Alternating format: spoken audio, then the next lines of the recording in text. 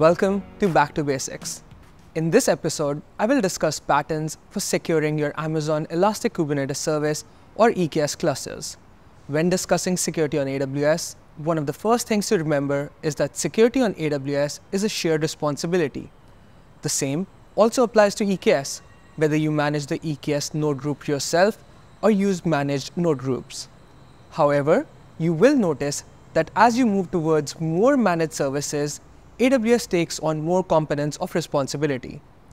Let's take one of the most common use cases as an example, to host a web API in EKS. Using a managed node group will put you in between self-managed and EKS Fargate, but enable you to offload the responsibility for the OS, kubelet, CRI, and AMI configuration to AWS.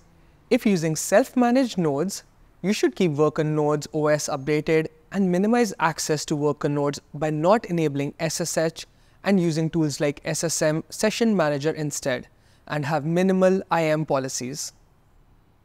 The first security pattern is designed for access control. You should not use service account tokens for authentication.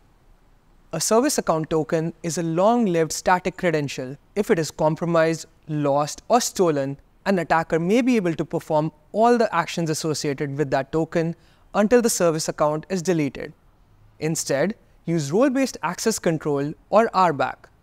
RBAC helps you adhere to least privileged principle access to AWS resources. Role bindings and cluster role bindings should be least privileged and only have permissions necessary to perform a specific function. Instead of an IAM user, create an entry in the AWS-auth config map for that user to map to a specific Kubernetes RBAC group. Although API calls to the cluster need to be authorized, you can enhance security by making the cluster endpoint private. It is also recommended to update the AWS-node daemon set to use IRSA or an IAM role for service account to prevent all pods from having unnecessary permissions to manage infrastructure. When using IRSA, it is strongly recommended that you block access to instance metadata to minimize the blast radius of a breach and preventing the pod from inheriting the instance profile rights of the worker nodes. Finally, run the applications as a non-root user. The second pattern deals with networking. Again, start with the principle of least privilege you can start with a deny all network policy and start by allowing a rule to allow DNS queries to the CoreDNS. You can then incrementally allow selective flow of traffic between namespaces and pods as the API may integrate with other APIs as is typical in a microservices architecture. This helps manage attack surfaces. Your API may require access to storage, which leads us to our next pattern, encryption. Consider enabling encryption on your store. You should also rotate your customer managed key periodically. Using KMS, you can rotate your keys once a year. You can also use KMS to encrypt Kubernetes secrets. You should audit secret usage and rotate periodically using external stores like AWS Secrets Manager. Additionally, you should also use separate namespaces as a way to isolate secrets. That way, you can ensure that secrets required by your API are not visible to another application. Use volume mounts instead of environment variables so that sensitive messages don't appear in logs. It is recommended to enable audit logs as part of the control plane.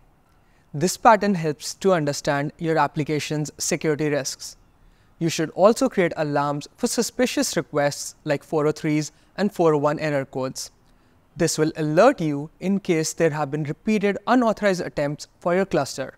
Be sure to regularly audit CloudTrail logs and optionally use CloudTrail Insights. Your API may be using many different image layers, including a base image.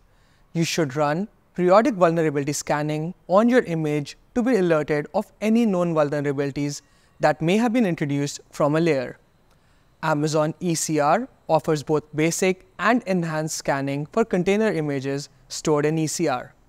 Use Amazon Inspector for host exposure scanning, vulnerability assessment, and deviation from best practices. In this episode, we discussed some of the best practices and recommended patterns for security on EKS. As a reminder, security is a shared responsibility, so do ensure you are setting up your clusters with recommendations and best practices in mind. Be sure to check out the links in the description below to learn more. Thanks for watching Back to Basics. See you next time.